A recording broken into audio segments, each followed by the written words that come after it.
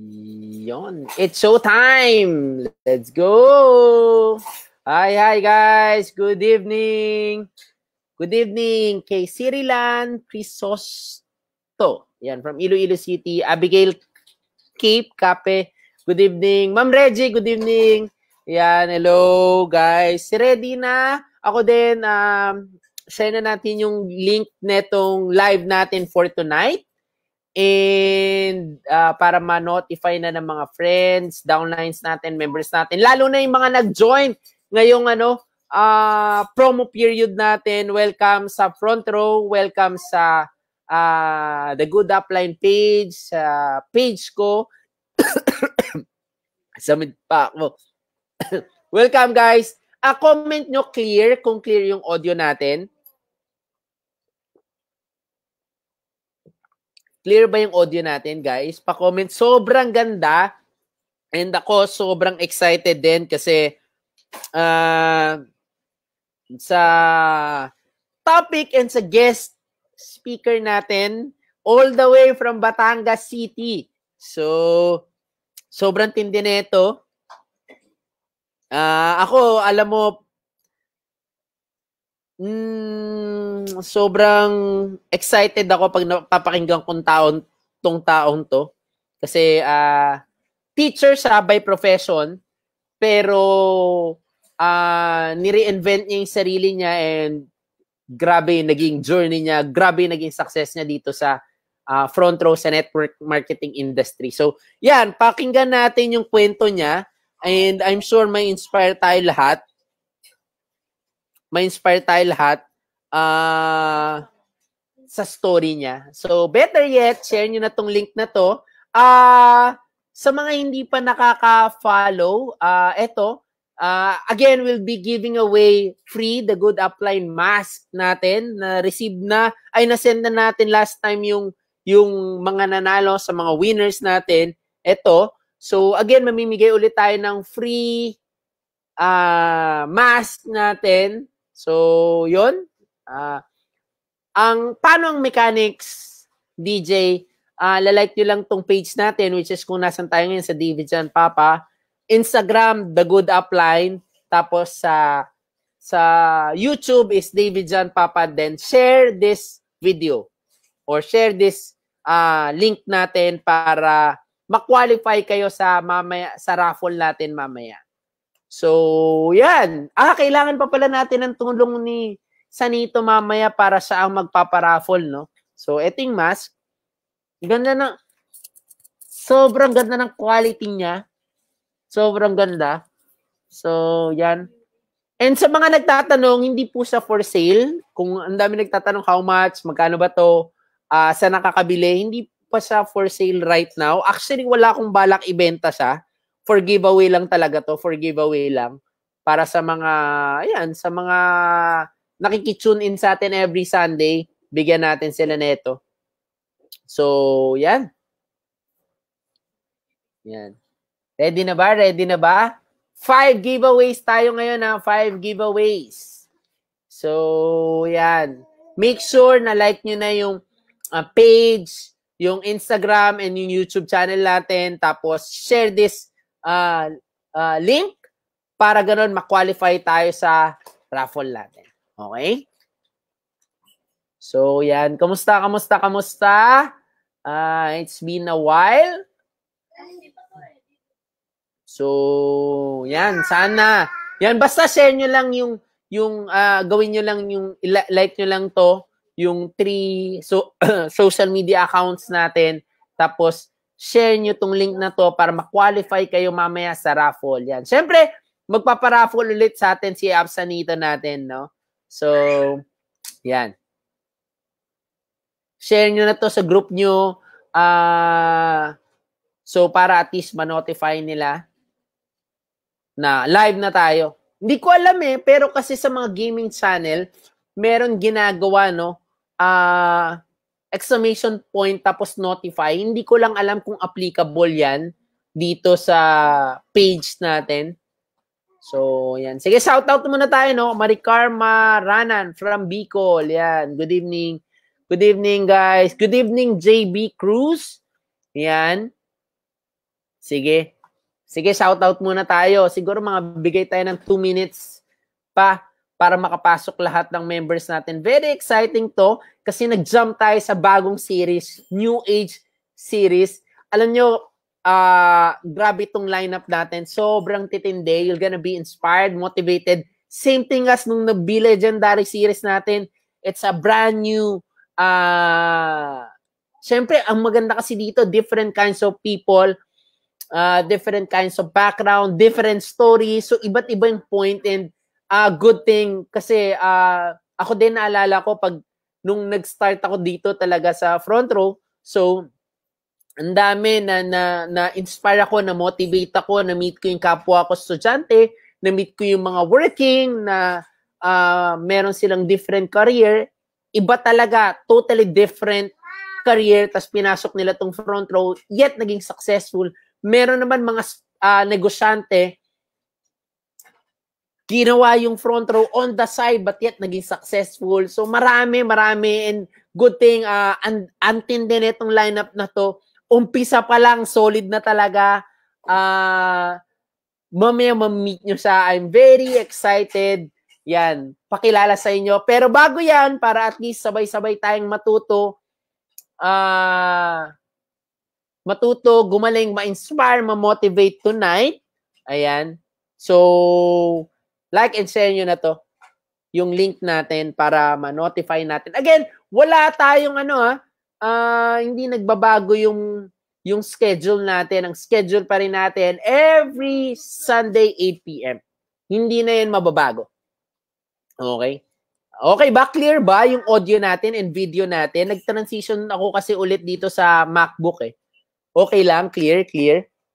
Okay naman? Wala naman tayong lag, ganyan. Kasi wala namang ulan. Saka nasa QC naman tayo. Normally ganyan kasi pag medyo umuulan, masama yung panahon doon, nag, nag ano eh. Sige, i-check ko din sa ano ko para malaman ko kung yan. I-check lahat yan na guys. I-check lahat yung Instagram, yung Facebook, yung YouTube natin. Kung sino yung mga nag-like, nag-follow, or nag-subscribe, doon tayo man- mamimili ng winner. So, meron tayong DTI representative. So, kaya... Masama yung panahon doon, nag, nag, ano. Sige, i-check ko describe doon tayo man- mamimili ng winner. Yan. Okay naman. Clear, clear, clear, clear. Malinaw, malinaw, malinaw pa sa sinag ng araw. Let's go! Masama yung panahon doon. Yan. Good evening. Uh, good evening, Jefferson Borha. Yan, from Bicol. Yan. John Doyd Abinya from Infinity Legaspi. Digos City. Si Ron Mark Aguilar. Yan. Clear, clear, clear, clear. Yan. para ma-share, hindi ata pwede kasi nasa, hindi ko alam kung nasa groups kayo, no? I-click nyo muna mismo yung link bago nyo siya ma-share kasi sinashare ko to sa, yan, sa team natin, sa Team Unstoppable, sa Infinity, sa The Good Upline Group, doon ko sinashare. Pero kailangan nyo ata i-link mo, i-click muna yung link mabuti, muna, bago nyo siya ma-share kasi pag sa groups talaga, alam ko hindi siya na-share. So yan, ang dami natin yung talaga, no? Good thing talaga meron online, the new norm. Sino sabog ang cheque? Sino sabog ang pay-in ngayong uh, Independence Day promo? And good news, meron pa tayong last day tomorrow. Meron pa tayong last day tomorrow. Yan, good evening Ate Vance. Yan, uh, kita ko may mga pay-ins kayo. Ah, congrats, congrats. Yan, shout out kay Kim Damot from Infinity Iriga. Yan, hello, hello, Lita Blate. Yan, hello, good evening, Jal Juliet Magnaye. Yan, good evening from Malabon, si Robert. Yan, hello, hello, hello. Bet, uh, ano nyo na, click nyo na yung ano natin, uh, yung page, Instagram, The Good Upline, tapos David Jan Papa sa YouTube. Yan. Sige, sige. Ano bang name nyo sa IG? Ayan, uh, The Good Upline. Makikita natin sa gitna. So, kita naman, di ba? Kita ba yung The Good Upline natin? Yan, Infinity Sir Sugon. Hello, Brian Losarata. Yan. Tapos don't worry sa mga provinces, yan, pag nanalo kayo ng mass natin, actually nagpadala tayo no Palawan, Pangasinan ang lalayo no, pero abot yung yung basta yung LBC may delay lang ng konti, syempre. Ayun. Akita naman no, so the good upline yung nasa gitna. Yung Instagram ko, the good upline. So yan, meron pa tayong Dubai. Yan si Burns. Burns, Fransa. Yan, watching from Dubai. Yan, na-miss ko na dyan sa Dubai. Kumain tayo ng shawarma. Tsaka yung, ano ba yung chicken na kinakain natin dyan, Burns? Grabe, na-miss ko na sa Dubai. Ayan, ingat na lang kayo sa COVID kasi medyo marami dyan, no? So, hello, yan. Hello, Ju, Julio Villa. Yan, Titanium Cavite. Yan, yan kung titanium ka, nako, ka-group mo tong guest natin si Carlo Bertillo, yan, si Avi Lucero watching from QC, Evelyn Abilar, yan. Sige, sige, sige. Ready na ba? Ready na ba? Ah, sobrang excited. Wala tayong masyadong effect ngayon kasi si Sanito nag-host kanina, si Sanito natin nag-host kanina sa isang uh, special training kaya tayo muna magte-take over ngayon. Ah, sobrang tindi ng ano natin, uh, guest natin yan uh, Jumping Start, the New Age series. Yan, none other than, grabe, ano to, uh, history to in the making kasi grabe, uh, alam mo tong pandemic na to, etong COVID season na to, mapupunta to sa history, mapupunta talaga to on the books, di ba? So, yan, ngayon, first jump start pa lang natin, new age natin, new age series, inunahan na natin uh, isa sa pinakamagaling na speaker na talagang ano na na-meet ko ah, lalo na alam mo from province pa sa Batangas, hindi talaga magiging ano eh hindrance kung saan ka, taga QC ka ba, taga province. Pag talagang meron kang uh, desire, meron kang uh, dedicated ka sa ginagawa mo, magaano ka talaga, magsasucceed ka talaga sa ginagawa mo. So, yan guys, uh, hindi na tayo ma wala nang intro-intro isa sa mga M Club from Batangas yan. Meet natin yan si Abs Carlo Bertillo natin yan. Hi bro, welcome. Hello Abs DJ and hello yeah. po sa lahat ng yeah. natin sa training natin ngayong hapon sa The Good Upline and uh, shout out po sa lahat ng viewers natin ngayon na naka-tune in and uh, every week talaga nanonood, sinusubaybayan yung magandang training ng page of course ng FSDJ natin. Yan. Kamusta? Ayun. Kamusta? Kamusta bro? San ka ngayon? Okay, sa bahay na? Medyo maulan dito sa Batangas, medyo maulan. Uh, hmm. Siguro dahil sa bagyo na nabalita.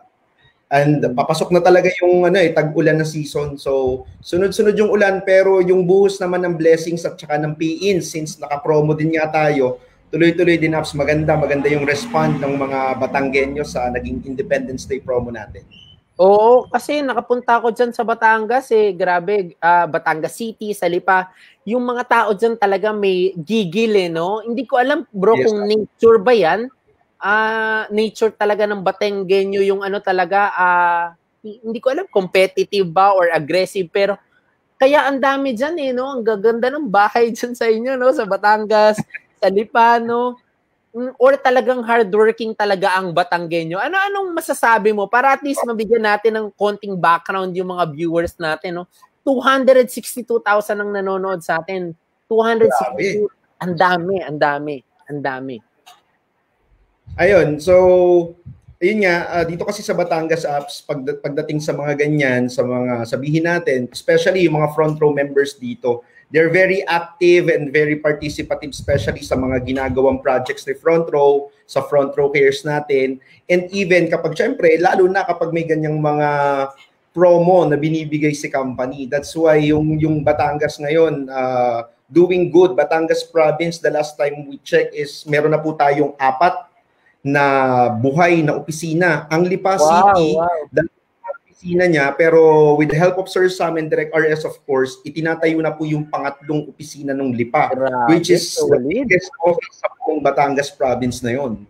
So maganda po yung nagiging takbo ng front row dito sa Batangas province and ang maganda niyan kahit uh, nag ano tayo nagkaroon uh, tayo ng ganitong pandemic Mm-hmm. Feeling ko naman talagang, kumbaga, one or two weeks lang na medyo nagimbal pero tuloy-tuloy oh. na ulit eh. Mm-hmm. And even sa ibang lugar, ganun din naman yung nangyari. Ganun tayo kaganda. And yun nga, good thing, meron tayong mga ganitong platform na pwede nating magamit. Online, everything naman is online na ngayon. So yun na lang yung ginagamit namin din para sa ganun magawa natin yung business ng dire-diretso. Mm-hmm. Sige, sige. Uh, I'm sure uh, very excited yung ano natin, viewers natin, no? And yun, uh, pero yung iba dahil nga hindi ka na-meet, sayang, no? Pero I'm sure yung half of this na-meet ka na in person or napakinggan ka na kasi syempre very trending yung mga video mo sa sa Facebook and YouTube, di ba? So, uh, the famous Mangwan. At darating tayo dyan sa dulo, no? So, uh, yan. Sino ba si Apps Carlo Bertillo? Yan. Bago siya naging Apps yeah. Carlo Bertillo at naging M Club. So, yan. Sige po. Siguro maganda yeah. nga yung Apps DJ. Uh, ipakilala ko rin ng kahit uh, content yung background ko prior to joining Front Row, ano bang ginagawa ko sa buhay.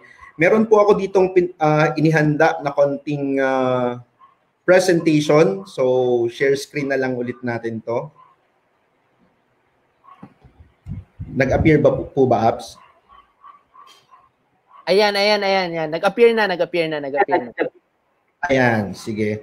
So, again, good evening po sa lahat po ng viewers natin ngayon. My name is Carlo Bertilio and siguro ipakilala ko ng mas maayos yung sarili ko. Bigay po ako ng konting background sa inyo kung ano po ba talagang ginagawa ko before pa po ako pumasok ng front row. So, ito po yon Before po ako nag-front row, ito po talaga ako, yan. Artista po talaga ako. So madalas po ako napapagkamalan na si John Lloyd Cruz. Nabiro lang ha sa mga viewers natin. Gusto ko lang medyo at ease kayo. Pero kapag pumupunta ako ng Manila, hindi ako tinatawag na John Lloyd, tinatawag nila akong Alden. So hindi ko rin alam, hindi ko maintindihan kung ano ba talagang gagawin ko. Kaya bumabalik na lang po ulit ako ng Batangas. Dito naman yan, ito daw ako. So pero yung totoo, yung totoo talaga guys ha, isa po akong licensed teacher. So nagtuturo po talaga ako bago pa po ako uh, mag-join kay Front Row. So license po tayo, nakapagturo na po tayo sa Batangas City for 3 years as a high school teacher, English teacher po tayo. And sa ibang bansa, so sa mga OFWs po na nanonood ngayon, medyo makaka-relate ka sa story ko kasi kagaya mo, nang ibang bansa na rin ako para lang talaga kumita ng malaki. Kasi dito sa Batangas, nabanggit ni Ups DJ kanina, ang lalaki ng bahay. Marami po talaga dito na ang culture is para mabago yung buhay natin. You will study hard. Once you graduated, punta ng ibang bansa, dun ka maghahanap ng magandang opportunity na magbabago ng buhay mo and ng family mo. So yun din naman po yung ginawa ko. Unfortunately, hindi pa rin nakasapat yung kinikita ko dati sa ibang bansa. That's why um, nung pag-uwi ko ulit ng Pilipinas, when I decided to go back home, uh, try, uh, sabi ko noon, mag-ano na lang ako, magpa-public school teacher na ako noon. Kumbaga, para ma-item na ako sa government. Pero luckily, na-invite po ako sa front row unexpectedly. Hindi ko po alam kung paano kayo na-invite, no? Pero ako, na-invite lang po ako. Nakuha lang yung number ko sa isang loading station. Yung po talaga yung totoong story noon. Naglo-load ako dun sa isang tindahan dito sa Maynilipa and then dun po nakuha yung number ko ng upline ko na nag-invite sa akin. So, ang sabi niya sa akin is part-time extra income and nung narinig ko yung salitang extra income, talagang sinunggaban ko na. Kasi syempre, talagang iba yung sapat sa pinagsasapat sa mga nagwo-work. Medyo maiintindihan niyo ako, 'di ba? Yung yung nangyayari sa atin na paikot-ikot, paulit-ulit, ganun na lang ng ganun. So, tinry kong puntahan, hindi niya sinabi sa akin na front row, hindi niya sinabi sa akin na networking. Uh, kasi siguro kaya hindi niya sinabi, alam niyang hindi ako pupunta pag sinabi niya. Kasi ako po yung tao na hindi rin naman ako inclined sa networking or hindi rin po ako, kumbaga ako yung tao na kagaya din ng marami na negative or kung hindi man negative, hindi ako naniniwala. Too good to be true sa akin yung network marketing. So, pinuntahan ko, napresentan po ako, ang tanda ko, yung nag-image marketing noon is yung upline ko, Ups John Marco Tipgos, siya po yung nag-image marketing. So, talagang ang galing, kilala nyo naman yung upline ko, di ba? Yung last legendary series natin, isa siya sa mga speaker doon. Grabe, talagang na-amaze ako, ang ganda ng company. Tapos, feasibility study that time was Apps Ogi Pasibugan. So, talagang na-amaze ako na from, from kick out, drop out, biglang nabago yung buhay alam mo yung pakaramdam na bula-bula na talaga bibig mo. Tapos biglang ang sharer pa noon is si Abs Richardson Hernandez natin, Mr. Unstoppable himself. So talagang grabing-grabing combo. Kumbaga, two hits, three hits tumama sa akin. Grabe. Uh, I decided to join front row and then inaral ko po siya with the help of the uplines, with the help of the trainings na meron sa front row, inaral ko siya, ang dami ko ring mga ini-adjust sa sarili ko, ang dami ko ring binago, ang dami kong kailangang mas matutunan pa. And then, uh, syempre, with the help of our upline and with our God, syempre, yun. One and a half year of doing this business, nakuha ko yung first car ko sa front row, which is ito ngayon, isang Toyota Altis na 2015. This is a second-hand car, pero sabi ko sa sarili ko, good enough. Kasi kung iisipin mong mabuti, kung i-compare ko siya sa trabaho ko dati or sa sa kinikita ko dati, ang nabili ko sa 5 years kong pagtatrabaho is motor. Second hand na nga, hulugan pa. 'Di ba? Nakakatawang pakinggan pero yun po yung totoo. Yun yung na, napundar ko sa 5 years kong pag-work. Pero dahil sa front row, 'di ba? One and a half year nakuha ko siya. And then I hit my first million on my third year doing this business. Yung pinampuhunan ko po dito, kumita ng million. And then after six months, my second million. Then after eight months, my third. And then my fourth. And going on my fifth million na po ngayon.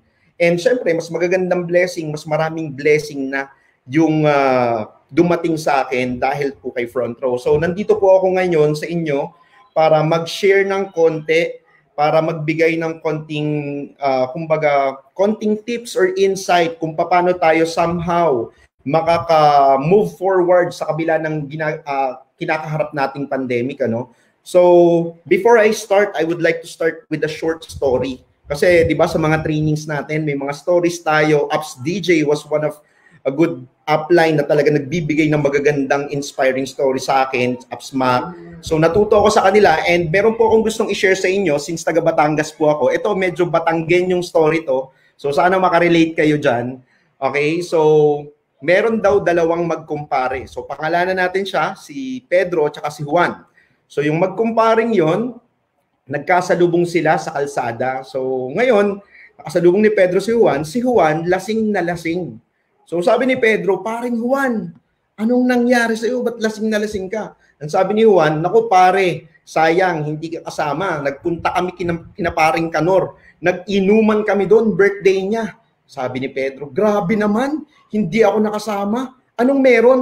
Sabi ni Juan, grabe yung pulutan. May litsong baboy, may litsong manok, may sisig, may inihaw na pusit. Grabe yung pulutan ni paring Kanor, pare. Sabi ni sabi ni Juan. Sabi ni Pedro sa inggit niya, grabe sayang talaga.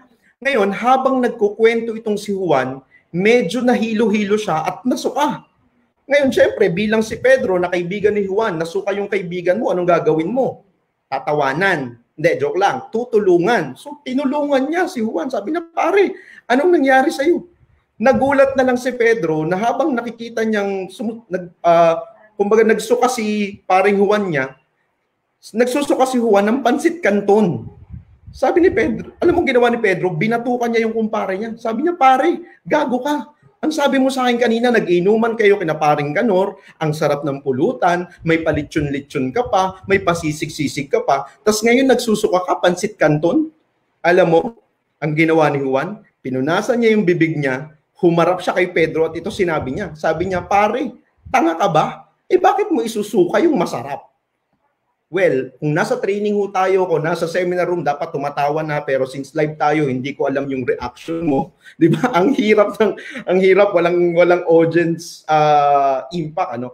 Pero anong bottom line or anong anong moral ng story? Same with what will happen tonight. I will share things with you guys I will share things na alam kong nakatulong sa akin, pero you need to pick and drop. Pag sinabi kong pick and drop, pag alam mong makakatulong sa'yo, alam mong makaka, magagamit mo, alam mo kailangan mo yun ngayon, then get it. Kailangan mo siyang gamitin, kailangan mo siyang gawin. Ngayon, kung may mga masabi man ako ngayon na sa tingin mo hindi hindi bagay sa'yo, hindi pwede sa'yo, or hindi mo na kailangan, then you, you have to drop it.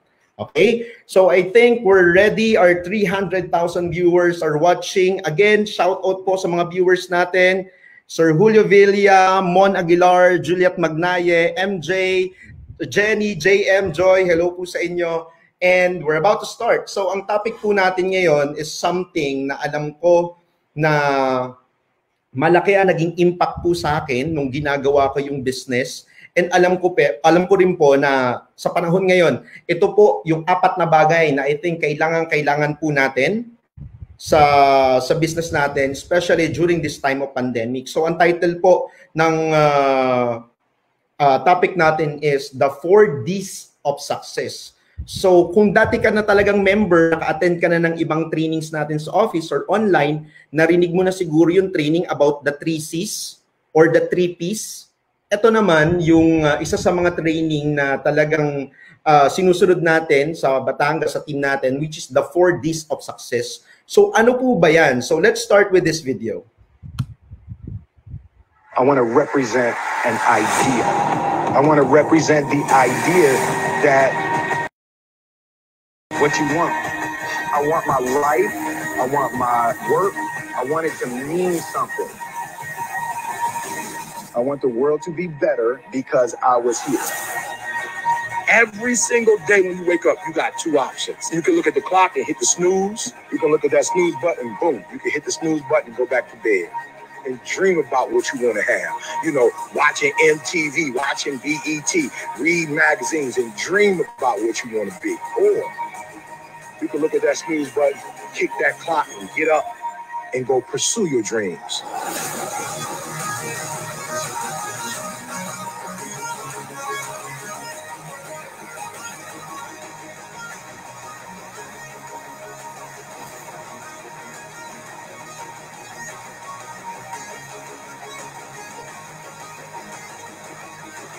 Every day you wake up, you got to start with that vision. So yun guys, so the first D of our training for tonight, ang unang D natin is ito, decision. Okay? So what's with the decision? So ano po bang meron? Now, uh, kasi ganito yung nangyari, no? Um, we're all doing good, we're all doing fine, ginagawa natin yung business, ginagawa natin ang front row, then all of a sudden, boom, lumabas itong COVID-19. Lumabas yung pandemic. So, bigla tayong natigil sa mga normal nating ginagawa, bigla tayong natigil sa mga table talks natin, biglang natigil yung mga bomb natin sa office, biglang natigil yung mga trainings natin, yung mga babaran sessions, special trainings, biglang nawala lahat yon. Ngayon, biglang parang hindi mo na alam kung anong gagawin mo. Biglang hindi mo na alam kung saan ka na ulit mag-uumpisa biglang hindi mo na alam kung paano ulit gagawin. So I think yung first din natin, which is decision, really affects what you are or what you have right now. Kasi sa decision, success is not a destination. It is the process. It is the journey. And it will start with a decision to try. And who will make that one decision? You. Now, kung mapapansin mo, kung babalikan natin yung mga previous trainings natin, let's have specifically the road to success. Di ba sinabi doon that the success starts with you? Actually, kaya ganun, kasi nga, yung yun na yun, ikaw, ikaw ang magdidesisyon kung anong gusto mong mangyari sa buhay mo. Ikaw ang magdidesisyon kung anong gusto mong uh, puntahan. Ikaw ang magdidesisyon kung anong gusto mong ma-achieve. And nung pumasok itong pandemic, biglang yung dati nating pinaniniwalaan or yung dati nating ginagawa, biglang nabago. And then all of our decisions bigla ring nawala. Na dati, nung wala pang pandemic, gigil na gigil tayo. That we decided na ako ang maging, magiging kauna-unahang milyonaryo ng family namin. Ako ang kauna-unahang bibili ng kotse sa family namin. Ako yung kauna-unahang makikilala sa angka namin ako yung ganito, ako yung ganyan. You already decided few months ago or few years ago. But then, nung pumasok itong pandemic, nung nagbago yung sitwasyon, biglang nabago na naman ang decision. Biglang magne-Netflix na lang ako. Biglang magbablog na lang ako. Biglang magti-TikTok na lang ako. Biglang nabago na lahat. What happened, guys? So, hindi pwedeng ganun. Dapat, ang desisyon natin, pinangangatawanan natin, pinangangatawanan natin dapat kung anong desisyon mo na dati, dapat yun pa rin ngayon. Dapat kung dati unstoppable ka at hindi ka nagpapapigil, dapat ngayon kahit online na lang din, hindi ka rin dapat nagpapapigil. Di ba sinasabi nga dun sa training, the decision must start with you. Maraming members ginagawa si front row kasi ganito, kasi ganyan. But then, pag dumating yung mga bagay na pipigil sa kanila para gawin yung negosyo, nagbabago na yung desisyon or yung destination natin sa buhay. So, dapat po hindi ganun. Dapat when we decide, we must stick on it kung ano man yung gusto natin. So, suggestion sa lahat ng viewers natin ngayon, start with a decision. Ano po ba talagang gusto mo? Meron ka pa bang dream board ngayon? Meron ka pa bang ginugol? Na kahit na bago na yung takbuhan, ano po bang tinatarget natin? And dapat, kung halimbawa, ang target mo is in the next couple of months, ganito ang earning ko. In the next couple of months, kailangan kong makasave ng ganito or kailangan kong mabili yung ganito. Ito yung target ko. Then you have to decide and you have to do it now. Kasi kung halimbawa, puro lang tayo plano pero hindi tayo nagdidesisyon sa buhay natin na gawin yung plano na yun, walang mangyayari. Now, I will give you some guidelines to effective decision making. Ito yung mga bagay na pwedeng makatulong sa iyo. I'm not saying that this is the perfect way to decide. Okay? It will not guarantee a, a perfect decision, but this could be your guidelines to effective decision making. Pwede mo siyang maging parang tularan, 'di ba? parang maging uh, uh, ano ba tawag doon? Guideline. Hindi ko mat maano yung term sa Tagalog. Pamantayan. Thank you. Pamantayan mo kung paano mo gagawin itong negosyo. Uh, kung paano ka magdi-decide sa buhay mo. First, know what you really want. Alamin mo kung anong gusto mo. Alamin mo kung ano yung goal mo. Remember, successful people make decisions based on their current situation. Unsuccessful people, I'm sorry, make decisions based on their current situations. Successful people make decisions based on where they want to be. Dito, nung pumasok ng pandemic, makikita mo talaga kung sino yung, alam mo yung, kung sino yung agila eh, kung sino yung talagang alam mong pangmalupitan. Kasi hindi ko naman sinasabing lahat, pero most of us, most of our members, nung pumasok yung pandemic, biglang nagbago yung sitwasyon, nagbago na rin yung desisyon nila. Kagaya ng nabanggit ko kanina, dati hataw na hataw, biglang na-focus na lang sa TikTok, biglang nag-online selling na lang ang focus, biglang nag ano na lang, nag-vlogger na lang or whatsoever. 'Di ba? Nabago kasi nabago din yung yung sitwasyon. Now, if you wanna be successful, then make your decisions based on where you want to be. Kung before pandemic, nag-decide ka na magiging M-Club ka ngayon taon and then so be it. Ako naniniwala na kaya mo pa rin mag-M-Club kahit ganito yung situation. Bakit? Kasi may, may nag-pay in pa rin naman. Kasi may nai-invite pa rin naman. Kasi tuloy naman ang front row. Guys, ang front row nung pumasok ang pandemic, hindi naman siya nag-stop. Yes, yung mga offices nagsara for safety purposes. Pero yung yung transactions ni front row tuloy-tuloy. Remember, meron po tayong front row all access, 'di ba? Napakaswerte natin na nandito tayo sa front row bago pa pumasok tong pandemic, bago pa siya dumating, we are all prepared na harapin 'yun. So hindi po imposible na makuha mo yung first million mo, o, o di ba? Masarap bang tawagin na ikaw yung ano, first front row COVID M Club, o di ba? Isipin mo yon, di ba? Pandemic M Club. O di ba ang ganda ng title mo? Mag-share ka sa unahan, hello guys, ako nga pala si Juan at ako ang Pandemic M Club. Di ba? Ang, ang lupit tingnan kasi kahit yung sitwasyon is very uncomfortable or uneasy sa iba, you made it possible na makuha mo yung success mo kasi you decide. Kasi alam mo kung anong gusto mo. 'Di ba parang bata, kaya laging sinasabi that yung mga bata daw ang pinakamalayang tao sa mundo. Bakit? Kung meron kang batang anak around 1 to 2 years old or pamangkin or kapatid, pansinin mo nung nakakapunta kayo ng mall ng mga toy shop, try try mong magpakita sa kanya ng isang bagay or isang laruan na kukuha ng attention niya. And once na nagustuhan niya yon, hihingin niya yun sa mama mo. Anong sasabihin niya? Mama, I want that car, I want that robot, I want that kung ano man yun. Pag hindi pumayag ang mami mo, anong gagawin? Mag-iiyak yun, maglulupagi, di ba? Yun yung term sa Batangas, maglulupagi, meaning to say, uupo yun sa, sa sahig, tapos magagagalaw, tapos iiyak, gagawa siya ng ingay, gagawa siya ng, ng mag-a-attract sa attention ng iba para mainis yung nanay mo at bilhin yung laruan. Bakit? Because he or she really knows what he really wants. Dapat ikaw ganun din. Hindi ko naman sinabing pag hindi ka makapagpapiin, maglupagi ka. Ah, hindi siya nagpe, hindi naman ganun. Pero dapat alam mo kung anong gusto mo. Na kahit na bago na yung sitwasyon, na kahit ganyan yung, kahit online na lang tayo nag-uusap, kahit yung presentation natin online lang, kapag alam mo ang gusto mo, it's not impossible to do it. Yun yung gusto kong iparating sa'yo. Second, never base your life decisions on advice from people who don't have to deal with the results. Tandaan nyo po, a wise man makes his own decisions and an ignorant man follows public opinion.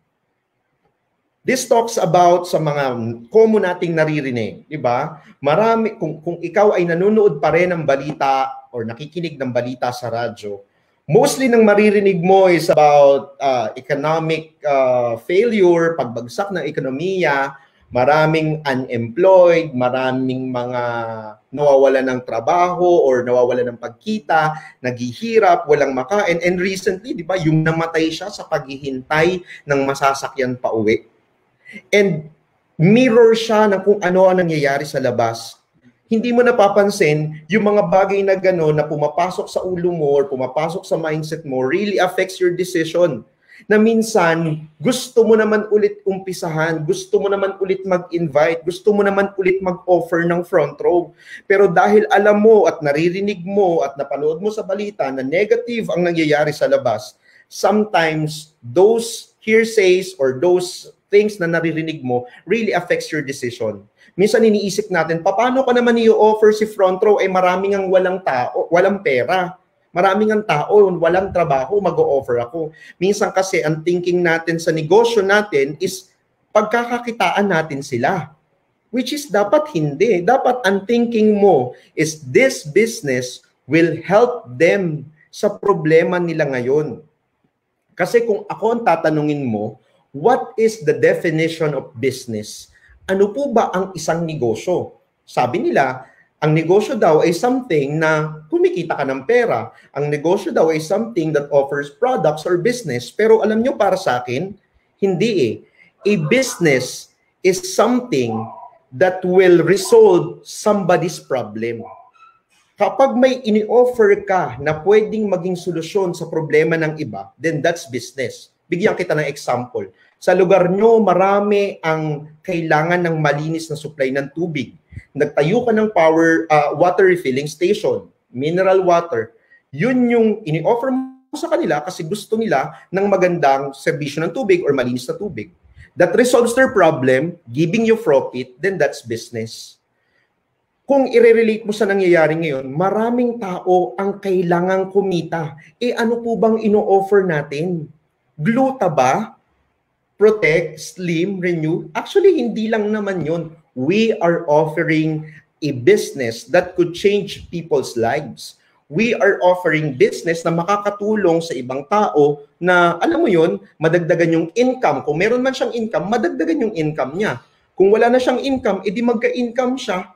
Kung halimbawa naman, ang, ang pangangailangan ng tao is health supplements, o di i-offer natin yung products natin because we are in the business. Kailangan mo lang talaga siyang i-offer. Don't mind do, yung mga sinasabi ng tao sa labas na hindi hindi yan work out kasi walang bibili, masyadong mahal or whatsoever. Kasi kung sasabihin mo sa akin walang bibili, try mong i kung ikaw ay talagang front row member, ano, try mong i-scroll ang phone mo ngayon, makakakita ka na kagad ng proof of sales within the day. So, tell me, walang bibili, eh bakit may nakapagbenta? Walang sasali, eh bakit ang daming pay-ins? Walang, walang kikita, eh bakit ang dami pa rin uplines na talagang kumikita, chumicheke ng malaki kahit ganito pa rin ang sitwasyon? Minsan, kung anong naririnig natin sa ibang tao na wala namang kinalaman sa gusto mong mangyari, yun pa ang pinapakinggan natin. Madali tayong naapektuhan. Especially, di ba, dati kasi most of the time ang kasama natin si upline. Most of the time nakatambay tayo sa office 'di ba? Most of the time nasa babaran tayo. Umuuwi tayo late night na, tulog na sila. Tulog na yung kapitbahay mong negative, yung nanay mo, hindi ka na mapapagalitan kasi tulog na. Eh ngayon, di ba? Naka-quarantine ka. Nandun ka lang sa bahay. Hindi ka makaalis. So kung anong pinag-uusapan nila, yun na lang din yung naririnig mo. Kung ano yung common topic, kung ano yung common na ginagawa, yun na lang din yung ginagawa mo. So in other words, naapektuhan ka na rin ng sitwasyon mo dahil nakakulong ka dyan sa bahay mo, which is dapat hindi dapat hindi. Meron pa rin namang mga ways, kagaya nitong training na to. Actually, napakaganda nitong training na to na every Sunday after church or every Sunday after the things na gusto mong gawin, meron kang training, meron kang maririnig coming from different uplines na magbabago ng perspective mo sa buhay, na mag inspire sa'yo, na magmo-motivate sa'yo. Maganda to. If meron kayong group group uh, kumaga group chat ng mga uplines mo, nakikipag-usap ka sa kanila, nakikipag-video call ka every night, yun. Kasi kung nandun ka lang sa situation na yung mga tao sa paligid mo is most are mostly negative, then you have to look for ways paano ka makakasagap ng positive ideas naman, ng positive aura. O di tumuto ka dyan sa MacBook mo or sa cellphone mo, video chat kayo ng upline mo, pag-usapan niyo yung negosyo, 'di ba? O kung halimbawa, o sabihin sa'yo, puro ka dyan sa ano, puro ka dyan sa sa computer, try mo namang tumayo dyan, umalis. O di ba, magbasa ka ng positive books.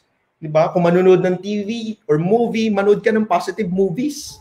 Ang dami namang ways, guys, para yung, yung nararanasan mo, yung nararamdaman mo ngayon ay mabago. Kahit pa ganyan yung situation. So, kailangan lang yung decision natin, nandun pa rin kung ano yung gusto natin, and kailangan lang nakikinig pa rin tayo sa mga tamang tao 'di ba? Iwasan natin kasi dati hindi mo nakakausap yung mga friends mo na negative, 'di ba? Yung yung mga yung mga tao na nakaka-affect sa iyo dati sa negosyo, hindi mo sila nakakausap. Then all of a sudden, biglang nag-quarantine, biglang ka-chat mo na ulit. 'Di ba? Pinag-uusapan niyo na ulit yung mga dati, yung mga nakaraan, wala na ulit plano sa buhay. 'Di ba? So ang pinag-uusapan, ano kayang meron bukas? Ano kayang tanda mo ba dati? Yung mga ganong klaseng usapan na ulit, bumalik ka na ulit sa dati. Dapat ngayon, kahit through online lang, ang kausap mo pa rin lagi si upline mo. Or kung may grupo ka, edi sa mga members mo. Sila na lagi dapat yung kinakausap mo. Para syempre, yung, yung, yung goal nyo is incline pa rin, iisa pa rin. Number three, don't make permanent decisions on temporary emotions. Di ba? Recently, may nakita akong parang documentary na itong pandemic na to, marami sa mga tao na na-quarantine, sanay na lumabas, parang na-stress, parang na-depress, di ba? Parang naging irritable kasi nasa bahay lang, naging nag-worry sa mga nangyayari. Kaya naman, marami silang decision na nagagawa na hindi naman dapat. Kasi nga, nag-base po sila sa emotion nila. So guys, always remember that emotions are temporary. Pwedeng masaya ka ngayon pero bukas hindi. Pwedeng malungkot ka ngayon pero bukas hindi. Pwedeng excited ka pa ngayon pero bukas hindi. So emotions are temporary. Huwag mo silang gagamitin bilang basihan ng decision mo. Kasi most likely, ang result ng decision mo is mali. Kasi nga emotion yun eh. It's very temporary. So do not make permanent decisions on temporary emotions. Okay? Minsan sa sobrang galit mo, minsan sa sobrang saya mo, minsan sa sobrang excitement na nararamdaman mo, nakakagawa ka na ng desisyon kaagad-kaagad eh. 'Di ba? Baka mamaya yung desisyon yun na yun magbago din ng buhay mo 360 degrees. Tapos hindi mo na maibalik. Naku, lagot tayo diyan. Kaya ingat tayo sa emotion natin, okay? Kumbaga, kalma ka muna. Huwag kang gawa, gumawa ng desisyon pag masayang masaya. Huwag ka rin gumawa ng desisyon pag malungkot na malungkot or galit na galit ka.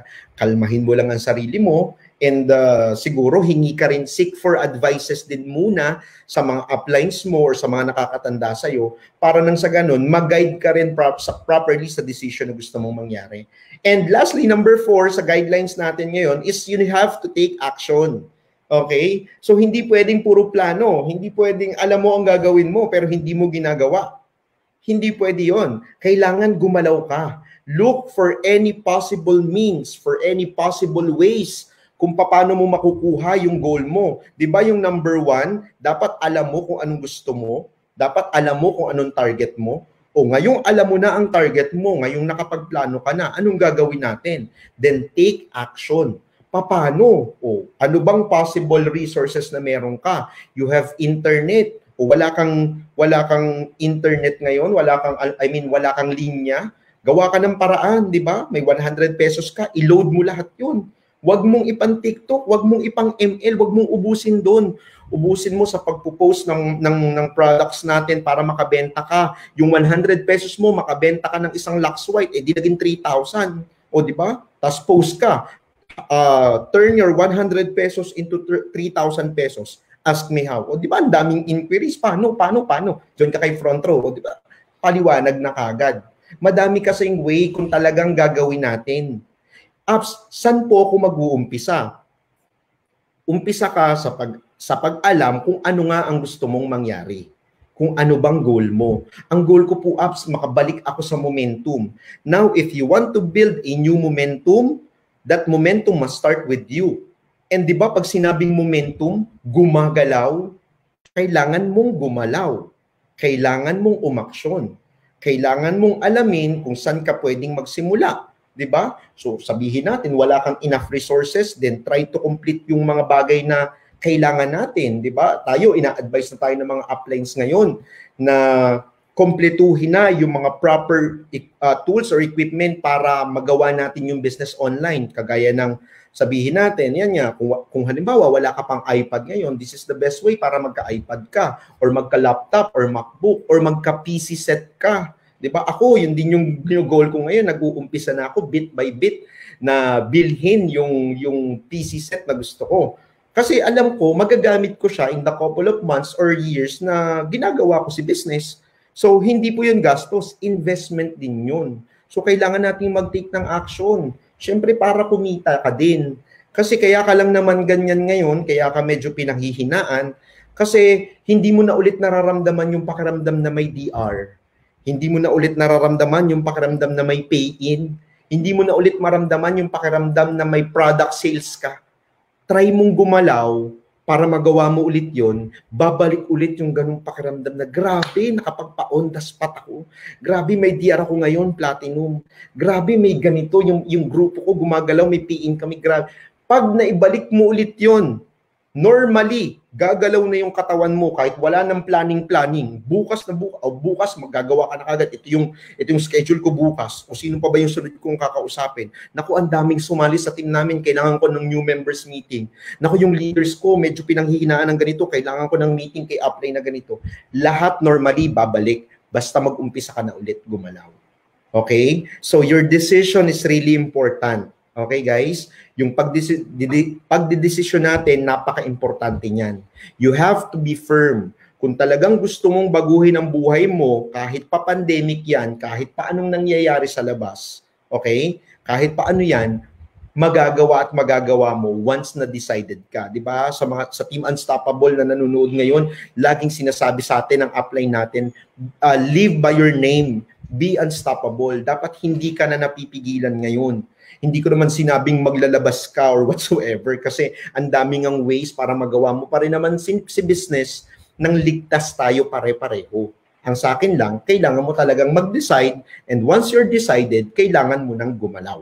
Okay guys, okay ba tayo doon? So comment naman itong 350,000 viewers natin kung okay ba sa inyo, kung natututo ba tayo kasi syempre uh, nandito ako, nakaharap ako sa MacBook ko, hindi ko alam kung, kung may, may naibibigay ba ako sa inyo. Comment lang kayo dyan guys kung natututo kayo and then siguro later on, kung may questions kayo sa mga dinidiscuss natin, later on yes, kami ni yes. TJ yung sasagot ng question. natin yung question nila siguro 2 to 3 solid tong ano making decision. Tama eh kasi siyempre uh, lahat naman actually parang hinangin ng konti nung nung pandemic, itong COVID season. Pero tama dapat pa rin kung ano yung decision mo nang simula, firm pa din hindi magbabago ng sitwasyon or circumstance or circumstances or even your emotion. 'Di ba? Tama. tama, tama, tama. Okay, okay. I'm sorry yan, marami, ang dami, bro. Uh, ang dami nilang yung mga hina-highlight nila yung mga sinasabi mo, tas kino-comment nila. Hindi mo lang syempre siguro tuloy-tuloy ka lang, pero ano, uh, na, na, nag, nagigets nila at marami silang nare-realize dun sa mga sinasabi mo. Tuloy lang, tuloy lang bro. Tapos mamaya dulo. and answer, question and answer tayo. Siguro 2 to 3 questions para at least uh, yung ibang hindi nila matata- madidiscuss or meron silang need, 'di ba, doon sa sa ano, sa iyo may personal question, 'di ba? Ma ma okay. entertain natin later. Okay. Sige po. So let's proceed sa letter sa second D natin, okay? Dedication. Okay, ito isa to sa pinakamaganda rin. Dedication. O di ba? Meron tayong napapanood na commercial dati. Di ba? Ang sabi dun sa commercial, para kanino ka bumabangon? Di ba? So, kanino mo ba dinededicate yung ginagawa mo ngayon? So, dedication talks about your deepest why. Now you know your goal, now that you're decided, now that you're willing to take action, medyo papalik, papalakasin pa natin yan. Kumbaga, na, uh, pa, lalagyan pa natin ng konting superpowers yan. So, lalo na kung dedicated tayo, kung alam natin. Tandaan nyo that dedication helps you to get through the tough times, so that you can stick to a goal for a long time.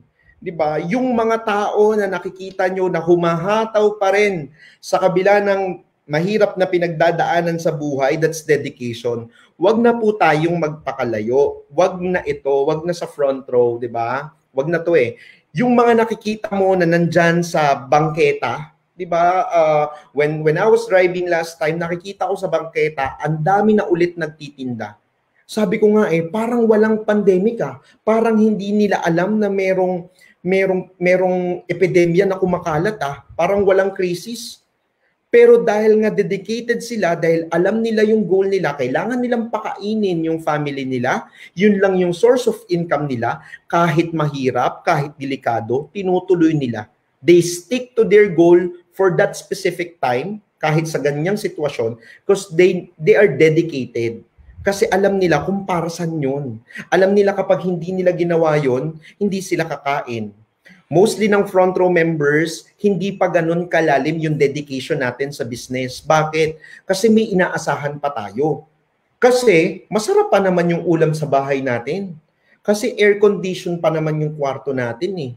Kasi okay pa naman yung buhay natin, kasi suportado pa rin naman tayo ng pension or sabihin natin, si mama, si papa natin, okay pa rin yung income. Hindi naman tayo ma- uh, affected ng ganun kalaki. Kaya naman, yung commitment natin sa business, hindi rin ganun kalupit.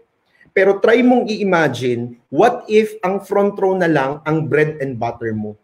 What if front row na lang ang paraan para kumita ka sa isang araw, para mabayaran mo yung bills mo, para makakain kayo ng maayos? What if ganun? For sure, yung dedication mo and commitment mo sa negosyong to, mas kakapit ka.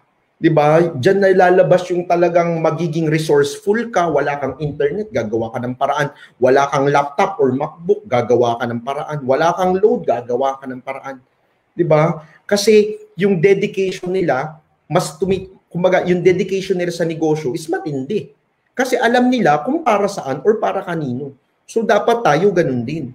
Dapat ikaw dedicated ka pa rin sa ginagawa mo. 'Di ba tanda mo dati ito ah, nakakatawa nga lang isipin eh kasi dati nung nung nung nag-office office pa tayo, grabe yung dedication ng mga members natin. Nandiyan na yung kahit umuulan, yung yung seminar rooms natin punong-puno ng members at saka invites nila kahit bumabagyo, di ba, ibabalita, guys, mag-ingat, may bagyo, ganyan-ganyan, bumabaha, ganyan. Makikita mo, sige lang, sulong. Kung, kung unstoppable GA yan, puno pa rin. Di ba? Kung special training yan, sige lang. Kung may bomb, malupit yung upline na magtutok, sige lang, punta lang. Grabe yung dedication, grabe yung commitment noon. Then all of a sudden, na bago nga. Dapat hindi. Same with the decision. Kahit ano pa ang nangyayari ngayon, your dedication should stick on it. Kailangan ganun ka pa rin. Kailangan dedicated ka pa rin. Dapat alam mo pa rin kung para kanino mo to ginagawa. Tandaan mo, oo, uh, hindi na natin normally nagagawa yung nagagawa natin sa negosyo or sa, sa office. Pero yung mga tao na umaasa sa'yo, yung mga tao na pinangakuan mo, na magkakaroon kayo ng magandang buhay. Yung mga tao na umaasang ikaw yung magiging way para mabago na yung takbo ng buhay nyo, nandyan pa rin sila. Okay? Hindi sila nawala. Nawala lang yung normal na ginagawa. pero may mga tao pa rin umaasa sa atin. May mga members ka pa rin na nakakapit, di ba? Kahit patatatlo, dadalawa, lilima, sa sampu na yung natira, tawag pa rin dyan grupo, tawag pa rin dyan members pa din yan. Kasi may mga cases na nasanay tayo sa malaking grupo yung hinahandle natin dati, then all of a sudden, biglang lumiit yung grupo, biglang naging sampu na lang yung isang daan. At least, di ba, nasala na yung grupo mo. Yung sampung natitirang yon na committed, dedicated, kailangan hawakan pa rin natin yun ng maayos. Kasi isipin mo, paano ka ulit pagkakatiwalaan ni God ng isang daan, dalawang daan kadaming tao kung yung dadalawang natitira, hindi mo pa maalagaan ngayon. So kailangan yung dedication and commitment mo sa negosyo nandun pa rin kahit pa ganyan na yung nangyayari. Samahan mo pa nito. Okay? The price of success, dedication, hard work, and unremitting devotion to the things that you want to happen. Okay? Masipag ka. Kaya lang kapag nahirapan ka, tumitigil ka. Dapat hindi. Samahan mo yan ng dedication. Okay? At saka yung walang humpay na paniniwala sa mga bagay na gusto mong makitang mangyari. 'Di ba? Kasi yun yung mahirap eh. Uh, parang parang ganito. Uh, kami dati nung nung nung wino-work out namin yung M Club title namin, yung coach namin, yung grupo namin, hindi naman namin yun nakikitang nangyayari sa amin agad-agad. Pero nakita namin yun sa mga uplines, kinaps DJ, kinaps Mac, kinaps Chart, kinaps Rod, sa mga head uplines natin ng Unstoppable, di ba? Sa mga crossline natin, sa Team Evolution, sa Team uh, Domination, sa ibang team, nakikita namin nangyayari sa kanila. So dapat Uh, kaya kami, naniniwala talaga kami na mangyayari sa amin yun. Kasi nangyari sa kanila eh. Ang sinasabi lang naman sa amin is tuloy mo lang. Tanda ko pa, share ko lang, ano, dumating din naman sa times na talagang nahihirapan na ako. Kasi nakabuo ako ng grupo, nawala, nakabuo, nawala, nakabuo, nawala. Lumapit ako kay AppsMac. Sabi ko sa kanya, Apps, nahihirapan na ako. Anong gagawin ko? Alam mo, sagot ng upline ko, tuloy mo lang. Tapos tinuloy ko lang kasi yun lang yung sinabi niya. Eh. Wala namang mahabang paliwanag. Eh. De bro, tuloy mo lang. Tinuloy ko. Tapos ganun na ulit, nahihirapan na ako. Mas dumadami na yung negative kasi parang tumatagal na ako nun, parang 6-8 months, wala pa rin akong maliwanag na resulta. Lumapit ulit ako kay upline ko. Ops, magwawalong buwan na ako, mag-iisang taon na ako maya-maya. Wala pa nangyayari. Anong gagawin ko? Sabi niya lang, bro, tuloy mo lang. Tapos yung nanay ko lumapit na sa akin kasi kung mapapansin yung background ko, 'di ba? Sinabi ko kanina, working po ako. Okay, panganay ako sa amin. So isa ako sa mga nag nagsusustain sa family namin even before. Tapos all of a sudden bigla akong pumasok sa network marketing. Yung income ko, 'di ba, sa network naman hindi naman agad malaki agad, 'di ba? Fluctuating, baba, taas. Nabubokya pa ako isang linggo dati nung nag-uumpisa ako. So sinabi sa akin ng nanay ko, mag-abroad ka na ulit, pinapaalis na ulit ako ng abroad. Lumapit ako kay upline, upline, hindi pa malaking resulta ko. Diba? Chumicheck ako, maliit pa lang. Pinaghahanapan na ako sa bahay. Anong gagawin ko? Alam mo, sabi niya, tuloy mo lang. You should have that unremitting devotion na uh, to see the things or to the things that you want to see happen kailangan meron ka pa rin nung, yung gigil and, de- and, and dedication na mangyayari sa akin yan. Yan yung napapan... Ikaw na nanonood ngayon, o tumingin ka dyan, tumingin ka sa akin ha, ikaw na nanonood ngayon, sinasabi ko sa iyo, kung na-inspire ka sa aming mga nagsasalita dito, sa mga naging success natin, you should keep that faith in you na balang araw, 'Di ba? Malay mo, malay mo. Next year sa The Good Upline New Age 2.0, hindi na ako, ikaw nang nanonood ngayon, yung nagsasalita na hello guys, ako nga pala si Juan, dati lang ako nanonood ng live-live na ganito, tapos nakinig lang ako sa kanila, tapos ganito, ganyan, tapos ayun, eto, malaki na income ko, 'di ba? Kasi naniniwala ka pa rin dun sa mga bagay na hindi naman nakikita ng marami. Dapat meron ka pa rin nun hard work, masipag ka naman. Dedicated ka naman. Pero dapat syempre, naniniwala ka pa rin.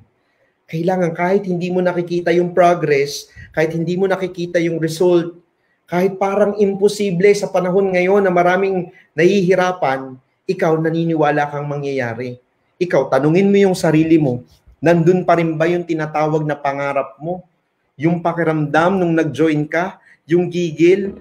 Yung pakiramdam na bumuhay ng pangarap mo nung nagsalita yung upline sa harap mo. Yung pakiramdam na, oo nga, ito na yung paraan para mabago ko yung buhay ko. Para mabili ko yung pangarap kong kotse. Yung kinababaliwan mo bang sports car, nandyan pa din. Yung bambahe at lupa na plano mo. Yung tour mo sa ibang bansa kasama yung family mo. Yung makikita mo yung smile dun sa mukha ng nanay mo na nandun siya sa Hong Kong Disneyland o nandun siya sa South Korea or nandun siya sa London. Nandyan pa rin ba yan sa'yo? Kasi dapat nandun pa rin yan. Hindi yan mag-work out kung wala yun. Kung kaya mo lang gagawin kasi sinabi ng upline, mag-invite daw o di mag-invite, pero hindi ka na naniniwala sa possible na mangyari, medyo wala talagang resulta. Kailangan nyo pong ibalik yun. Kailangan nyo ibalik yung, yung dedication, yung commitment. Kasi alam ko masipag ka. Kung, kung, kung, kung front row ka, kung talagang dugong front row ka, alam ko masipag ka. Kasi walang front row na tamad. Lahat tayo ginagawa natin lahat para sa family natin. Lahat tayo ginagawa natin lahat para sa members natin. Lahat tayo ginagawa natin lahat para sa mga pangarap natin. So lahat tayo masipag. Ang pagka ang ang ang paglalaban-labanan na lang is yung rate of dedication and yung haba ng faith natin sa mga bagay na hindi pa nangyayari pero alam mo mangyayari na.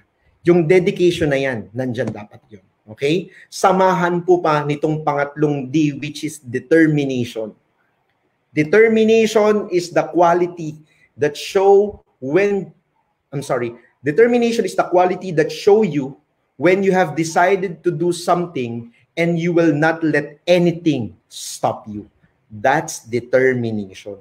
When you are determined na gawin ang isang bagay kahit pa anong sitwasyon, kahit pa anong mangyari, kahit pa anong nakaharang dyan, itutuloy-tuloy-tuloy mo kahit mahirap, kahit nakakapagod, kahit nakakapuyat, kahit napapagalitan, kahit mukhang imposible na, itutuloy mo. Bakit? Determinado ka eh.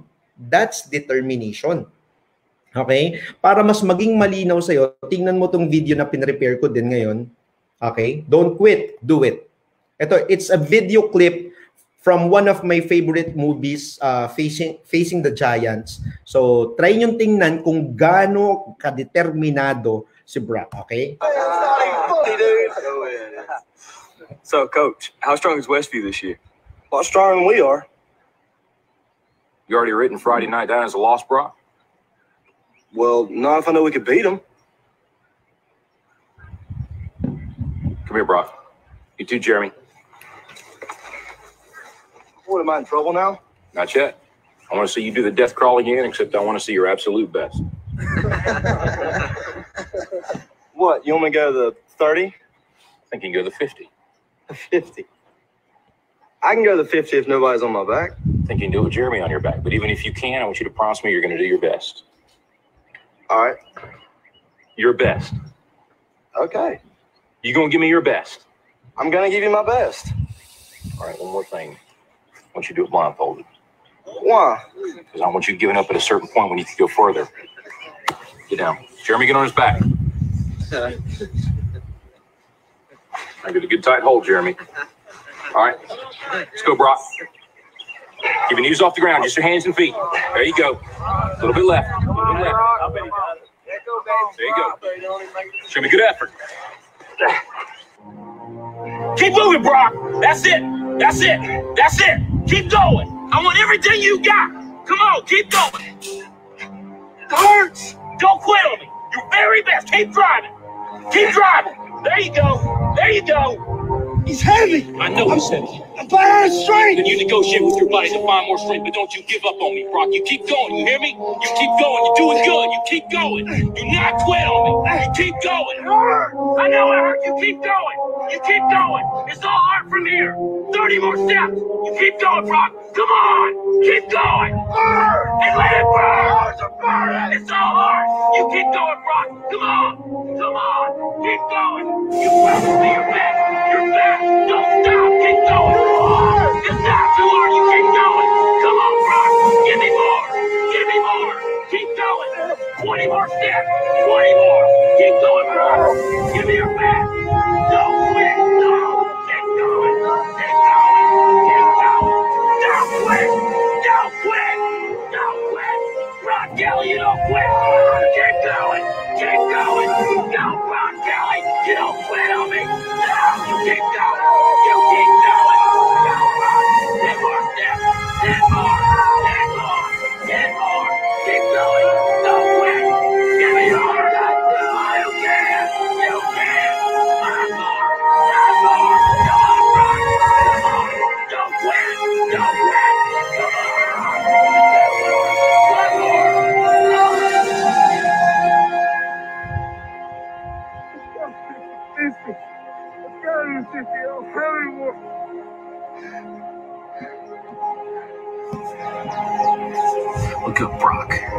You're in the end zone.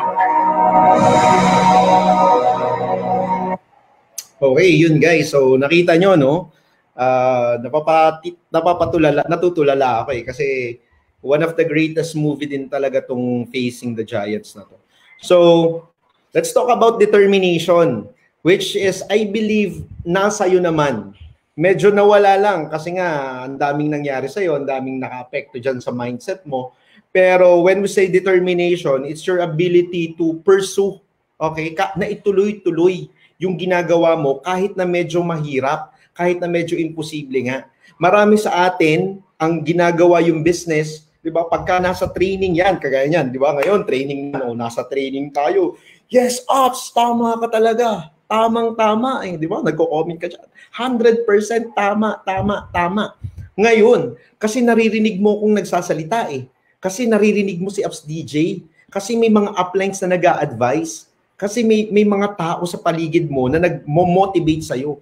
Pero kapag ka naman ginawa mo yung business, most of the time, ikaw na lang yun eh. Ikaw lang naman yung nakakarinig ng sermon ng nanay mo kapag umuwi ka ng gabi or kapag babad ka dyan sa computer mo ikaw lang naman yung nakakatanggap nung nung rejection coming sa mga invites mo. Lahat ng frustrations and failures, ikaw naman ang nakakatanggap nun.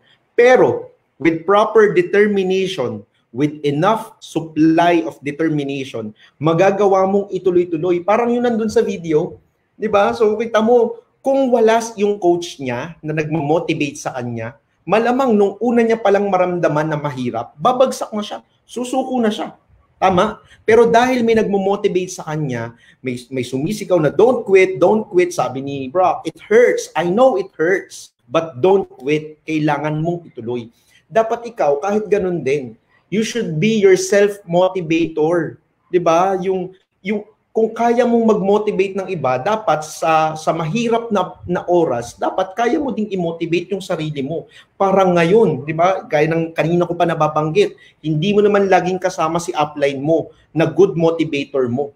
Pero ngayon, ikaw sa sarili mo, dapat alam mo din nakausapin yung sarili mo na i-motivate yung sarili mo na, 'di ba? Nagagawa ako kasi talaga dati nung Nung nag-uumpisa ako at nahihirapan ako, ito tinuro to sa amin ng apply namin, harap ka sa salamin, i-motivate mo din yung sarili mo. Try mo kaya, kung ikaw medyo nahihirapan ka or medyo may pinagdadaanan ka ngayon, you're so unsure of the things that you wanna do, hindi mo alam kung anong desisyon ang gagawin, harap ka sa salamin. Then kausapin mo siya, tanungin mo siya, ano bang gusto mo mangyari? 'Di ba? Yan na lang ba? Yan na lang bang gusto mo? 'Di ba? Magti-TikTok ka na lang ba? Pareho namang kaliwayang paa mo. Di ba? Usapin mo kasing ganun. Baka matauhan, di ba? Minsan kasi ganyan. Minsan kailangan din ng ng ng sarili natin ng ng advice coming from other people. Pero kung wala yon minsan ikaw, kaya mo rin namang i-advise ang sarili mo eh. Then magkaroon ka ng enough determination para ituloy-tuloy yung laban. Kapatid, tumigil yung maraming tumigil yung maraming bagay sa mundo dahil sa COVID. Pero sana hindi tumigil ang pangarap mo. Ulitin ko ha, tumigil ang maraming bagay sa mundo dahil sa COVID. Pero sana hindi tumigil yung pangarap mo. Ang sabi ng ang sabi ng uh, otoridad, huwag lumabas, 'di ba? Bawal lumabas, 'di ba? May batas, bawal lumabas. Pero hindi naman sinabing bawal kumuha ng pangarap eh. Tama po ba? Sinabing bawal lumabas pero hindi naman sinabing bawal kumuha ng pangarap. Hindi naman sinabing bawal lumabas, bawal magkakotse ha. Bawal lumabas at bawal magmilyon. Bawal lumabas at bawal mag-invite sa boom. Wala namang ganun. Ang sinabi lang, bawal lumabas. Pero pwede mo pa rin ituloy kung determinado ka. Ba? Diba? And alam ko, nakikita naman ng mga uplines na nanonood ngayon kung sino yung mga dedicated and determined members So tip ko lang din, suportahan po natin sila. Talagang i-guide natin yan. Kung nalagasan ka ng tao, okay lang. E ups, yung dating ganito, ang dami, dami. Eh, wag mo nang hanapin ng wala wala nga hinahanap mo pa, kaya ka nahihirapan eh. Huwag mong hanapin yung wala. Mag-focus ka sa nandyan, sa mga dedicated, sa mga determined, yung mga may desisyon sa buhay. Tip sa mga upline, kung alam mo, yung isa sa mga nanonood dyan na member mo, isa sa mga ganun, yan yung mga dapat talagang tutukan. Yan talaga yung mga dapat dinidevelop, maging leader, maging agila. Sila dapat yun. Di ba? So, wag wag kang, di ba meron yung kasabihan, Don't stop when you're tired. Stop when you're done. Kagaya ng ginawa dun sa video. Hindi siya tumigil nung pagod na siya. Tumigil siya nung tapos na siya. Sana ikaw ganun din. Na nakapahinga ka na, nakapahinga na tayo for almost one month or two, di ba? Dahil sa quarantine, na-enjoy mo na yung Netflix, na-enjoy mo na yung TV, na-enjoy mo yung social media, nakapaglaro ka na. Ngayon, it's game time. Kailangan mo nang gumising kasi baka mamaya naglalaro ka pa, tumatrabaho na kami. Kaya pagdating ulit ng time, naglalaro na lang kami, tumatrabaho ka pa. That's the law of nature, di ba? Kung anong tinanim mo, yun din yung aanihin mo. So dapat ngayon, mas determinado ka kahit mahirap. Ngayon, kahit ganyan ang sitwasyon mo, kahit wala ka pang masakyan, papuntang office ngayon, kasi alam ko, di ba, kukunti pa yung mga bumabiyahe, di ba, kung nakikisabay-sabay ka pa lang ngayon, kung nakikiconnect ka lang sa wifi ng kapitbahay mo ngayon, kahit hindi niya alam, Diba? So gumawa ka ng mga Hokage technique para makakonect sa wifi ng kapitbahay nyo. Kung nakikihiram ka lang ng PC set or ng MacBook sa kapatid or tita mo, okay lang yan. At least, nandiyan ka na sa ganyang uh, punto, tuloy mo na. Tuloy-tuloy mo na, be determined enough, kahit mahirap, kahit mukhang imposible, makukuha mo din. Makukuha mo din. Basta hindi ka ititigil ngayon, ngayon ko lang na-realize yung, yung advice sa akin ng upline ko lagi na tuloy mo lang. Tuloy mo lang. Kaya kung mamaya may magtatanong sa akin, Aps, anong gagawin ko? Nahihirapan ako. Ano yun sagot ko? Tuloy mo lang. Bakit? Eh, yun lang naman yung sinabi sa akin eh. Tuloy ko lang daw.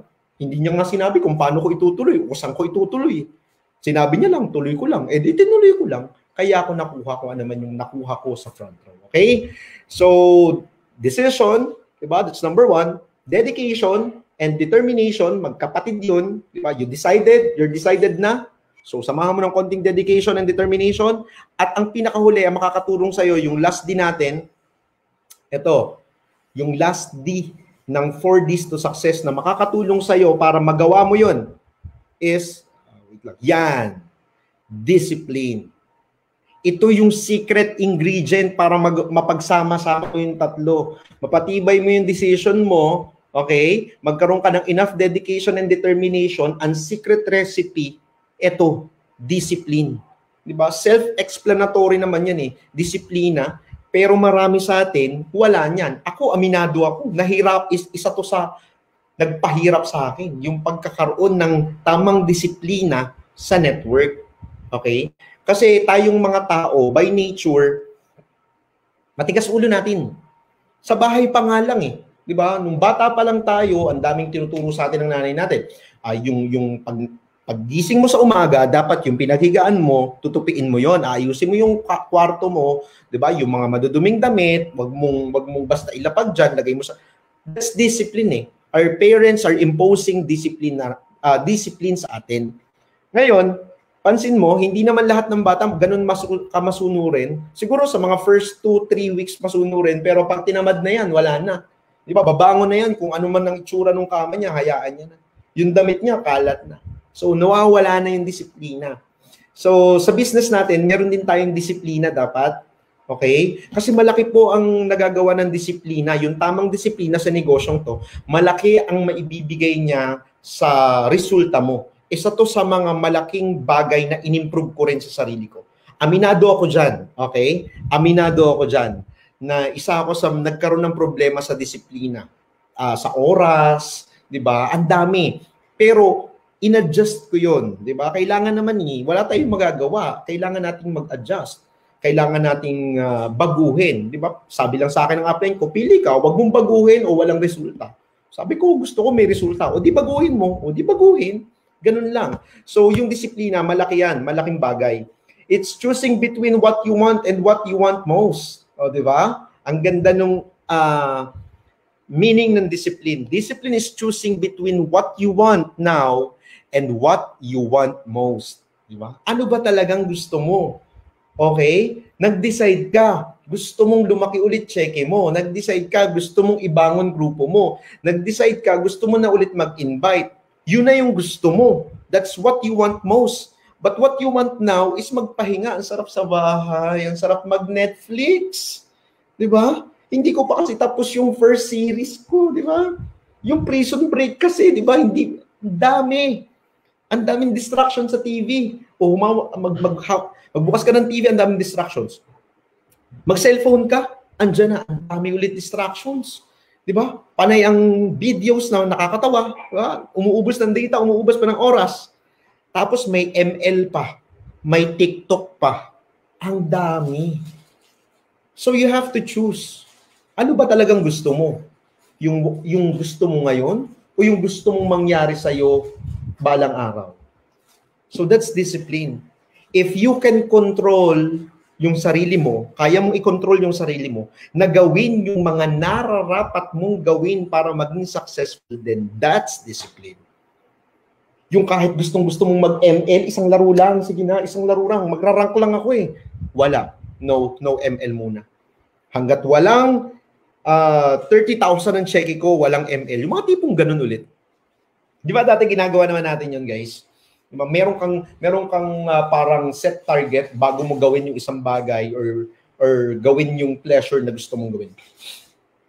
Dapat ganun ulit eh. Dapat dinidisiplina ulit natin ang sarili natin. Bakit kamo? Kasi ang daming na itutulong yan eh. Ito, para yung ano, para yung food supplement, maraming health benefits. O ito, yung discipline, ang dami niyang benefits sa negosyo. Una, discipline will help your consistency.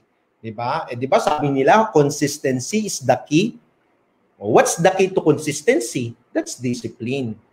Discipline will help your consistency. Kung gusto mo daw na kumita ng malaki dito, kailangan daw tuloy-tuloy. Dapat daw consistent. E paano maging consistent? Dapat disiplinado ka. Kasi kung disiplinado ka, kahit tinatamad ka, kahit ang daming temptations, kahit ang daming tukso, itutuloy-tuloy-tuloy-tuloy-tuloy mo pa rin. Okay? So that's one aspect na, ma- na maibibigay sa iyo ng discipline. Number two, it will help you focus. Diba? Gaya ng nabanggit ko kanina, dahil nasa bahay ka ngayon, ang daming temptations. Unang-una sa internet, pangalawa sa TV, di ba? Pangatlo sa ref, di ba? Temptation yun eh, di ba? Yung nasa ref, yung mga pagkain doon. Hahataw ka na sana, nakita mo yung ref, parang kumakaway, bubuksan mo yung ref, makakakita ka doon. Graham, tas malamig, di ba? Wala na. Wala na, hindi ka na ulit naka-invite. Kumain ka na lang ng kumain. 'Di ba? So it will help you focus. Kung disiplinado ka, may may may tamang discipline ka, business discipline sa sarili mo. Alam mo kung anong gusto mong mangyari, alam mo kung anong gusto mong maabot, so magfo-focus ka talaga doon, 'di ba? So ganun lang 'yon. And it will help you overlook distractions. Okay? So almost the same with the two aspects na binigay ko sa inyo. So kapag halimbawa meron ng, 'di ba? ML is waving, 'di ba? Mga ganyan your ML is waving, Netflix is waving, di ba? Yung kachat mo, di ba, is waving, di ba? Yung group chat ng magkakaibigan is waving. Ang dami, ang daming nagdi-distract sa'yo, pero kung disiplinado ka, hindi mo muna papansinin yon. It will help you manage your emotion, okay? So, kung ikaw ay emotional na tao, mabilis kang magalit, mabilis kang matuwa, alam mo yun, hindi, hindi, kumbaga parang yung, yung emosyon mo, ang bilis mabago. Okay, para kang babae, ang bilis mabago ng emosyon. So, it will help you manage your emotion kung disipline, disiplinado tayo. Okay? It will help your moral high. It helps you work with the end results in view.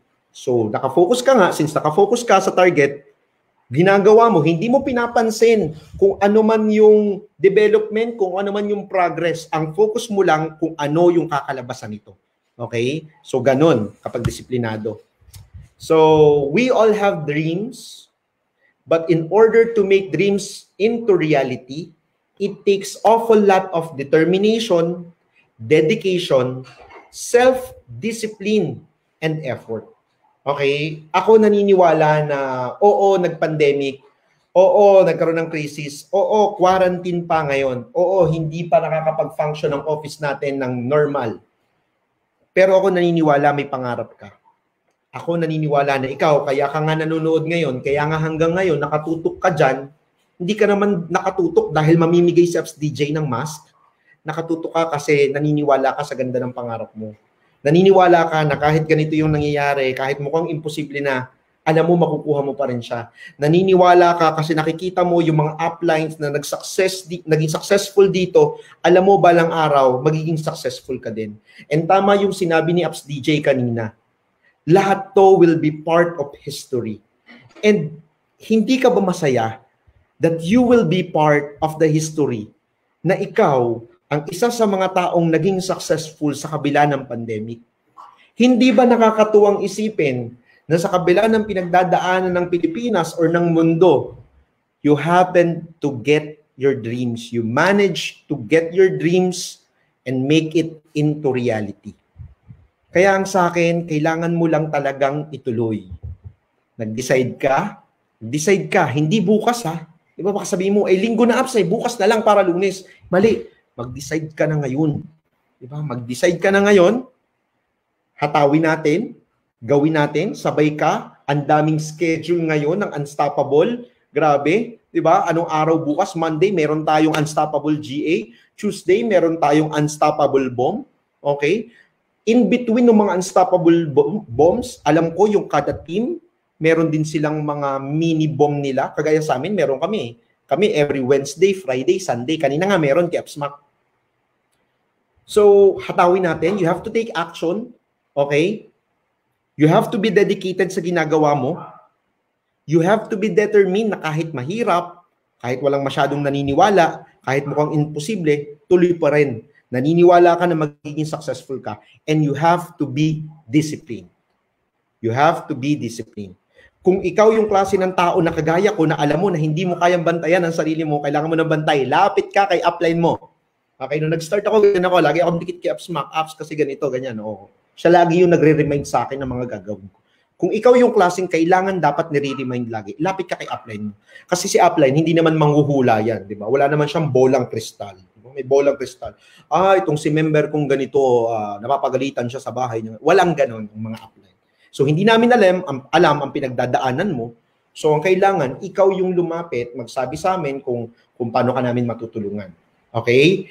And uh, siguro before I end, di ba? Kasi for this na yon, that's decision, dedication, story, determination, story, and discipline. Story, story. Yan, yan, yan. Yan, yan, yan, yan, yan.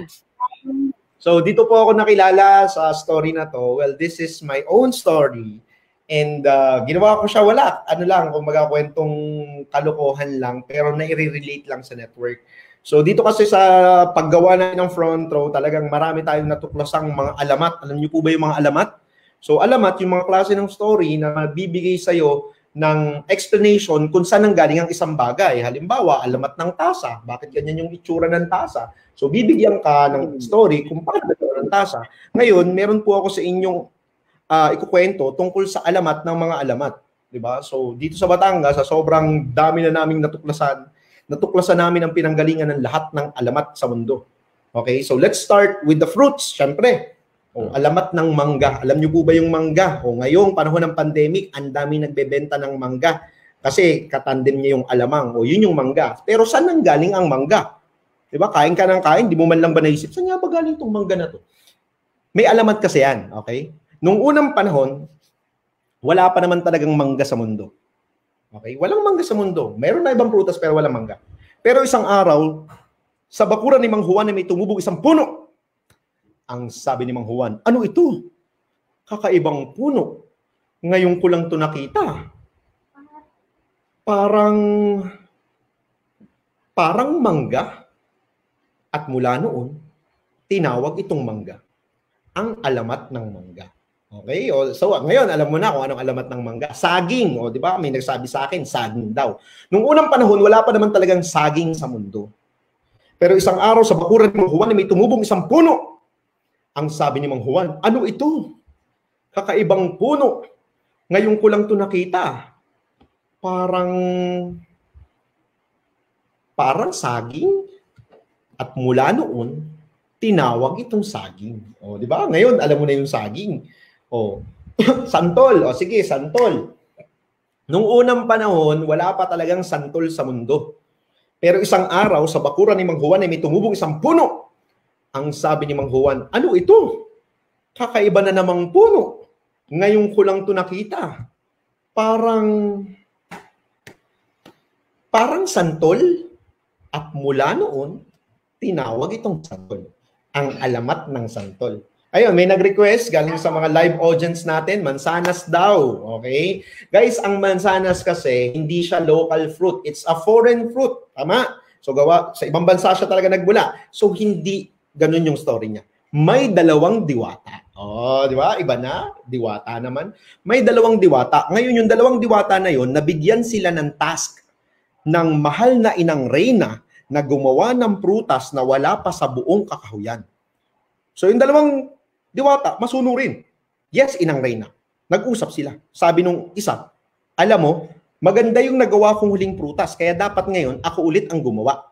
Sabi naman ng isa, yun na nga eh nakagawa ka na. Pagbigyan mo naman akong patunayan ng galing ko. So in other words, nag-away sila, nagtalo. Hindi nila ngayon maintindihan kung sino yung gagawa. So sa pag-aaway nila, lumipad sila, pataas, pababa, papunta sa silangan, pakanluran, nagpaikot-ikot-ikot-ikot sila sa buong kakahuyan hanggang napadpad sila sa isang bakuran. At ito ay ang bakuran ni Mang Juan. At sa bakuran ni Mang Juan ay may tumubong isang puno. At ang sabi ni Mang Juan, ano ito? Kakaibang puno ngayon ko lang to nakita. Parang parang mansanas. At mula noon, tinawag itong mansanas ang alamat ng mansanas. So, end of the story, guys. Hope you like the story. Very informative, 'di ba? Hindi mo makikita sa kahit anong informative books 'yan, 'di ba? Ngayon mo lang makikita 'yan sa The Good Upline Training. Anong moral ng story? As you can see, yung story naman paulit-ulit lang. Tama ba? Paulit-ulit lang, ending, 'di ba? Paulit-ulit lang. Kahit nga yung sa mansanas, same with with the process na ginagawa natin. Actually, paulit-ulit lang naman eh Okay? Yung training na to, kung mapapansin mo, pinaganda ko lang eh. Pero na, na-train na to sa iyo eh. Paulit-ulit lang ang trainings, paulit-ulit lang ang uplines. At, eh bakit nga ganun paulit-ulit? Para ma-remind ka rin paulit-ulit. Para gawin mo din paulit-ulit. At para bumunga ang resulta mo paulit-ulit. Yun lang. And thank you, Ups DJ. Yan! Classic, alam mo, tawa ko ng tawa. ano? Mansanas. Classic yun eh. Classic, yan. Yan, they, uh, I'm sure sold na kami sa 4Ds natin. Kaya wala nang Q&A, question and answer. Mag-ano na lang tayo. Uh, wala nang intro-intro. Kunin na kagad natin kay Sanito. Yan! Kumunguya Yun! Hi, Absanita! ano ito? Ano ito? Ba't may ngumunguya? Si Sanito, nagdidinan na! Yan. Ganyan na ba? Ganyan na ba? Wala mic. Absanita, nakamute ka, ka po. Ah. Nakamute ka. Nakamute share screen ko, paki-share na. Ayan. Yan! Ito na! Yung na mahiwagang ruleta The good upline mask. Again, hindi pa sa hindi sa for sale ah. Hindi sa, ang dami nag-message sa akin gusto bumili, hindi sa for sale. Makukuha lang siya dito. Yan. Sa live natin every Sunday. Every Sunday, 8 p.m., the Good Upline Training. Napakaganda dito, guys. Yan. Thank you ah, thank you Carlo ah, nabigyan mo kami ng oras. Buti na lang hindi ka na traffic at nahirapan mag-park. Oo oh, eh, traffic nga daw ngayon sa EDSA eh. Buti na lang. So, ruleta na natin? Sige. Okay. Ikot Good. Na. Hinihintay ko minto, hindi mo wala na ikot. Wala na umiikot na siya ngayon. Kasi click to signal mo. Hmm. Ayan, sige, iruleta natin. Unang mananalo. Ayan na! Ayan na! Ayan na! Nawala yung audio mo needs. Napasayaw na kami ni Carlo.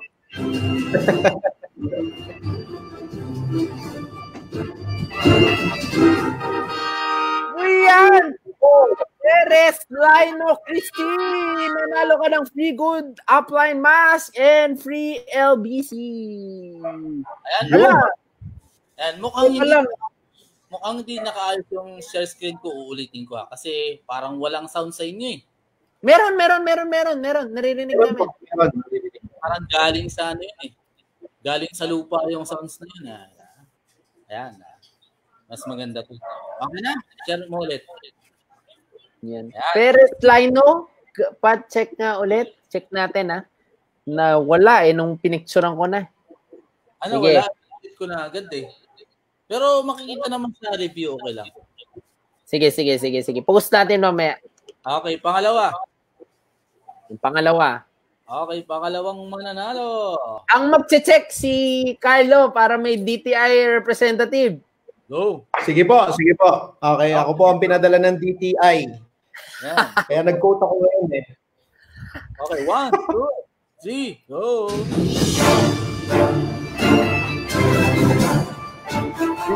Ayun na!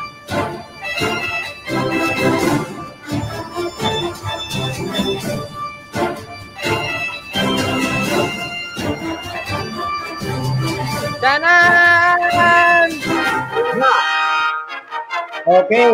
Congratulations to RG Dinky. RG Dinky, nanalo ka lang. The Good Upline Mask Limited Edition. Wala kang katulad pag napunta ka ng palengke! Woo! Yun ang pinakamaganda doon eh, no? Oh. Punta ka ng palengke, walang katulad. Oh, ilan pa? Last three, last three. Last three. Okay, Okay, pangatlong mananalo. Mm, Oh. Lahat ng mananalo, lahat ng nanalo at mananalo, message ako kagad sa page na to para mapa-LBC kagad bukas. Okay. Let's go! Pangatlong mananalo. Roleta. Ikot mo, be, ano, tanin ko ikot. Siyempre, yung mga guest natin, dating na yung next batch ng limited edition natin ng The Good Apply Match, mabibigyan na. Ayun. Yun. Partner. Marangal. Congratulations, Miss Maricar Maranan. Maricar Marana, nanalo ka ng The Good Apply Match! Yay! Ayun. Last two, last two, last two. Two. Ayan Ayan na. na mananalo. Siyempre naman ang mga lang Oo, natuto ka na kay Carlo. Na-inspire ka na, na-motivate ka na. Meron ka pang match.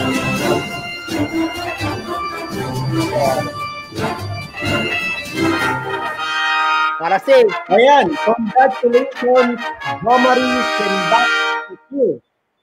Nanalo ka ng good limited edition. Ayun, last. Last. Ayan. Ready na ba kayo? Yan, kung ready na kayo, comment nyo naman. Re- Ready na kayo. Malay nyo, kayo ang Ito swertehin. na! For the win! Win!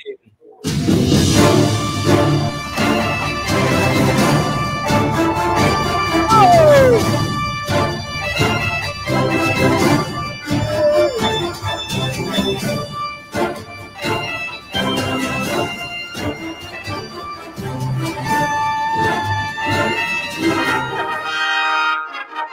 Ayan. Congratulations, Miss Paula May.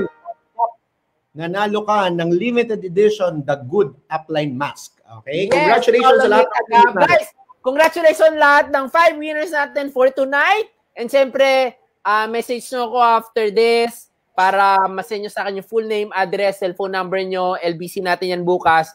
Again, thank you sa bisita natin all the way from Batangas City. Ah, bukas, pagising mo, Carlo, tingin ka na lang sa gate nyo. Ah, basta, check mo kung nakalak.